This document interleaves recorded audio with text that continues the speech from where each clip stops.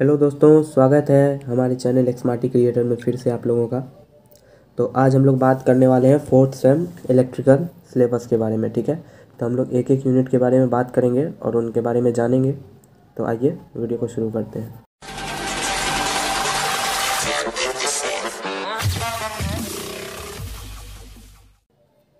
तो दोस्तों, जो हमारा सबसे पहला यूनिट पहला सब्जेक्ट है वो है डीसी मशीन एंड ट्रांसफार्मर ठीक है?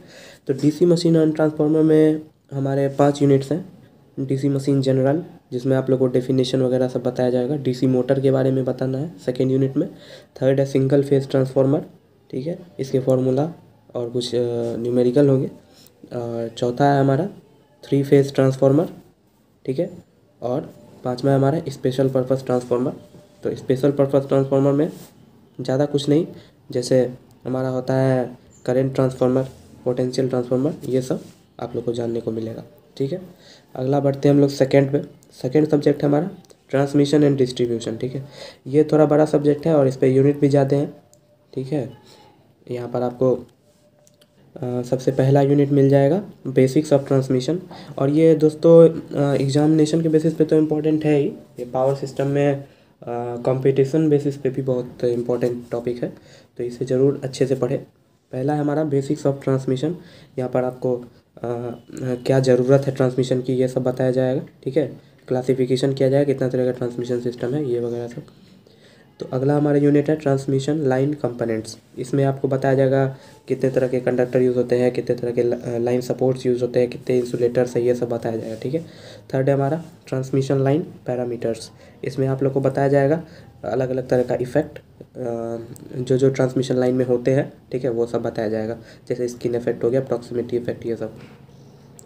अगला है हमारा परफॉर्मेंस ऑफ़ ट्रांसमिशन लाइन ठीक है? परफॉर्मेंस ऑफ़ ट्रांसमिशन लाइन में आप लोग को अलग अलग तरह के लॉसेस बताए जाएँगे ट्रांसमिशन लाइन में कितने तरह के लॉसेस होते हैं, ठीक है?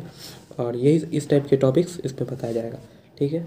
अगला हमारा पाँचवा एक्स्ट्रा हाई वोल्टेज ट्रांसमिशन और यहाँ पर आपको E H B S C transmission के बारे में आपको इंट्रोडक्शन बस है, बस ज़्यादा इस पर मतलब डिटेल में आपको डिस्कस किया हुआ नहीं है, ठीक है? अगला है हमारा कंपोनेंट्स ऑफ़ डिस्ट्रीब्यूशन सिस्टम ठीक है? कंपोनेंट्स ऑफ़ डिस्ट्रीब्यूशन सिस्टम में कुछ न्यूमेरिकल होते हैं, जैसे वन फ़ेज़ और three phase balance distribution system पे कुछ न्यूमेरिकल होंगे, ठीक है? अलग अलग तरह के डिस्ट्रीब्यूशन आपको बताया जाएगा। एसी डिस्ट्रीब्यूशन डीसी डिस्ट्रीब्यूशन मतलब जितने तरह का डिस्ट्रीब्यूशन है, वो सब बताया जाएगा आपको, ठीक है? यहाँ पर आपको ट्रांसमिशन ऊपर में जितने भी थे, वो सारे ट्रांसमिशन में थे, अब डिस्ट्रीब्यूशन में आ गया, ठीक है? अगला है हमारा, अगला यूनिट है अंडरग्राउंड केबल्स ठीक है? आपको केबल्स के बारे में बताया जाएगा अंडरग्राउंड केबल्स ठीक है? अगला यूनिट है हमारा सब स्टेशंस सब स्टेशंस वो होते हैं जहाँ पे हम लोग रिसीव करते हैं और हाई वोल्टेज को, और वहाँ से हम लोग आगे ट्रांसमिशन करते हैं, ठीक है? सॉरी डिस्ट्रीब्यूशन करते हैं। तो ये हो गया हमारा ट्रांसमिशन एंड डिस्ट्रीब्यूशन का सब्जेक्ट अगला है हमारा नेटवर्क थ्योरी ये न्यूमेरिकल बेस्ड सब्जेक्ट है और ये बहुत ही इंपॉर्टेंट सब्जेक्ट है एग्ज़ाम बेसिस पे और कम्पिटिटिव बेसिस पे भी। तो इसे बहुत ही अच्छे से बनाइएगा तो दोस्तों नेटवर्क थ्योरी में जो तो दोस्तों नेटवर्क थ्योरी में जो हमारा पहला यूनिट है, वो है बेसिक सर्किट यहाँ पर आपको कुछ सर्किट यहाँ देखिए थर्ड सेमेस्टर में आपको डीसी सर्किट का नेटवर्क थ्योरी पूरा बताया गया था। यहाँ पर थोड़ा एसी की तरफ़ फोकस्ड होगा।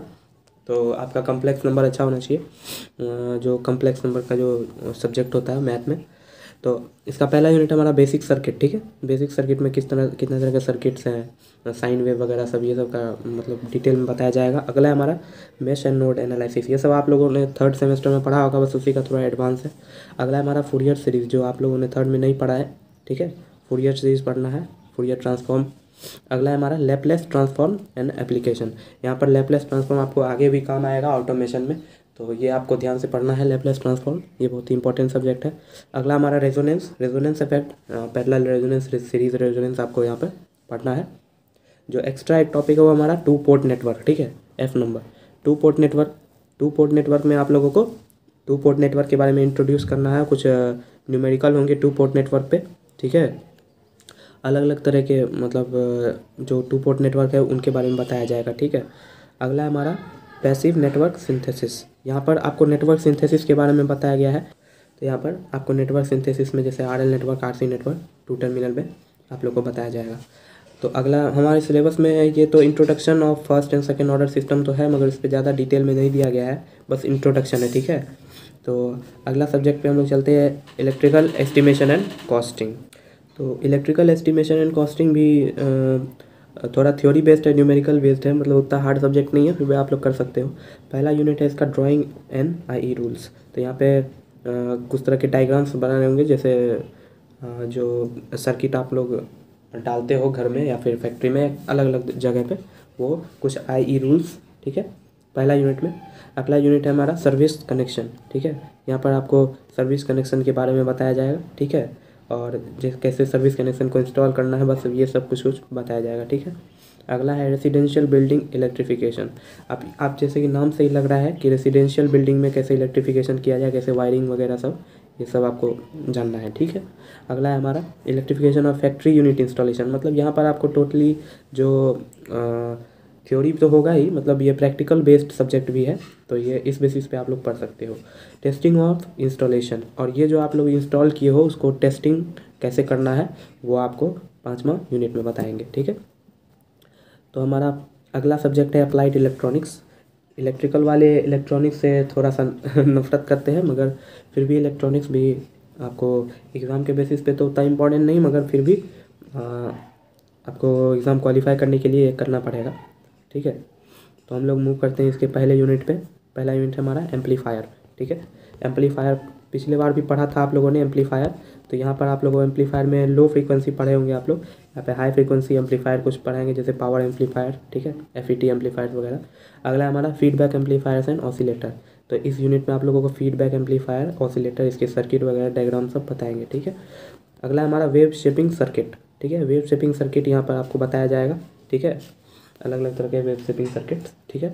अगला हमारा मल्टी वाइब्रेटर मल्टी वाइब्रेटर में डी नंबर मल्टी वाइब्रेटर में आपको ट्रांजिस्टर कैसे स्विच के तौर पे यूज़ होता है, एक तरह से आप कह सकते हो मतलब ऐसे यही सब बताया जाएगा आप लोगों को मल्टी वाइब्रेटर में।